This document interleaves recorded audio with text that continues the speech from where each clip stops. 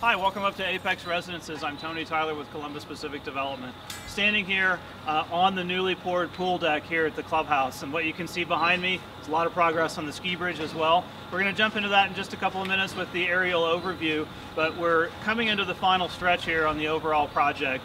And so uh, as we near Thanksgiving uh, and the mountain opening, just wanted to give you another update on the completion of the project overall. So as you can see from the overview, uh, the exterior of the project actually looks very complete. So we're going to take a, a, little bit of time and really focus on the clubhouse area. But a couple of the big changes that you see in this are the uh, curb, gutter, asphalt has all been uh, now effectively completed. There's still a couple of sections of sidewalk that we're working on. But from the exterior, the stone is going on to the clubhouse area. The pool plaza has been poured, as we already talked about a little earlier. You can see some of the scaffolding there that's in place to finish up some of the stone on the exterior of that building. But as you kind of flip around, you can get, a little bit better view of what the um, kind of interaction between the clubhouse and the ski bridge looks like long term.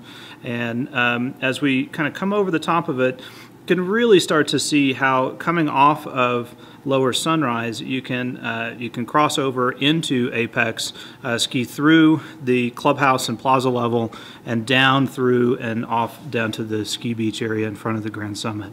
So uh, there's quite a bit going on with this building. As you can see here, uh, they're working on the splash pad fittings um, and all the jets that go into there. Uh, underneath the canopy, there will be a fire pit, and you can see that the pool itself has been shotcreted, and all the pumps and valves and everything are all in place. Uh, we're effectively just waiting plaster for the pool and the spa at this point. So the clubhouse is really starting to come together, and we're super excited to get this building delivered for everyone uh, by ski season this year.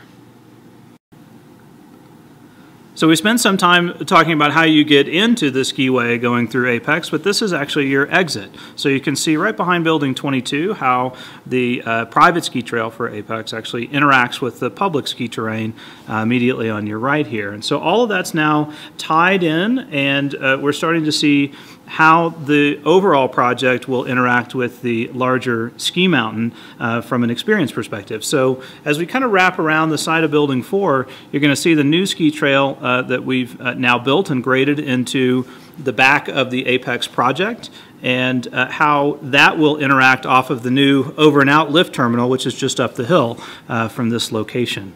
So one last thing to mention here, uh, we only have six remaining residences left, so if you or any friends are interested, please feel free to reach out uh, to your local sales agent.